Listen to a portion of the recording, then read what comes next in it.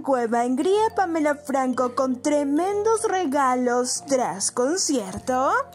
El amorío entre Cristian Cueva y Pamela Franco sigue sonando con fuerza y es que al parecer la pareja se habría mudado juntos a Santiago de Surco y es que estarían pagando 1.400 dólares por un departamento de más de 100 metros cuadrados que tendría aproximadamente entre 3 hasta 4 cuartos.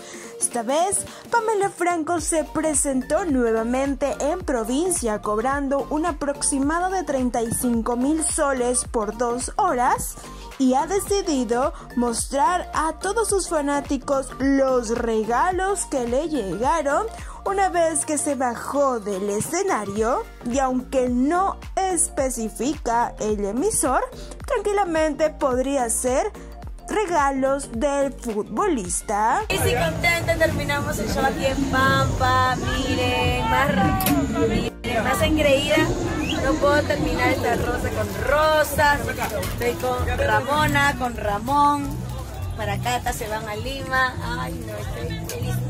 Muchas gracias, papá, lo lo que sí llama la atención es que después de esta historia coloca la canción Simplemente amigos, exactamente la parte cuánto desearía gritarles nuestro amor, como diciendo que quizás esos regalos habrían sido de Aladino.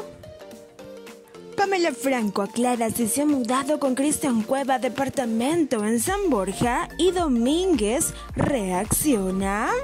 El día de ayer, 10 de octubre, se evidenciaron unas imágenes de Pamela Franco mudándose de su departamento de San Borja hacia Santiago de Surco.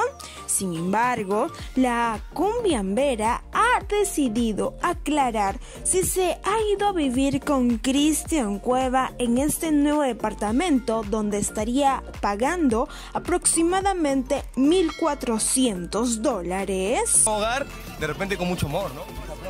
Con mi hija, siempre amor.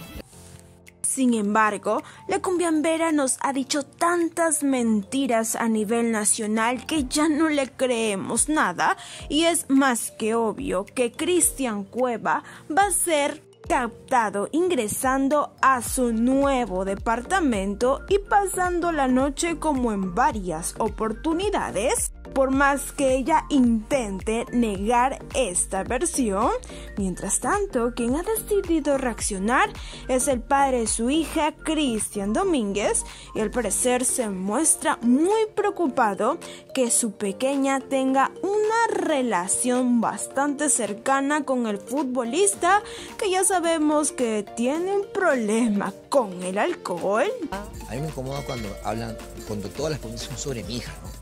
sí es un poco fastidioso y ha estado incómodo estos días por eso. Entonces yo siempre les digo lo mismo, o sea, lo que yo pueda estar, sí está un poco enojado, enojado, molesto, todo, siempre lo voy a manejar con el lado de mi hija y de manera privada.